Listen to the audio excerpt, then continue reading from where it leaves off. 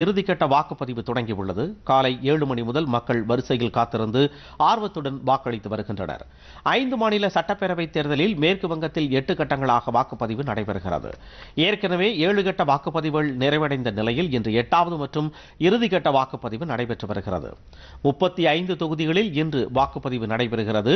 அசம்பாவித சம்பவங்கள் ஏதும் நிகழாமல் இருக்க கூடுதல் பாதுகாப்பு படையினர் வரவழைக்கப்பட்டு பாதுகாப்பு பணியில் ஈடுபடுத்தப்பட்டுள்ளனர். இன்று மாலையில் மேற்கு வங்கத்தில் இறுதிக்கட்ட வாக்குப்பதிவு முடிவடைந்தவுடன் ஐந்து மாநில சட்டப்பேரவை தேர்தல் தொடர்பான வாக்குப்பதிவுக்கு பிந்தைய கருத்து கணிப்புகள் வெளியாக உள்ளன.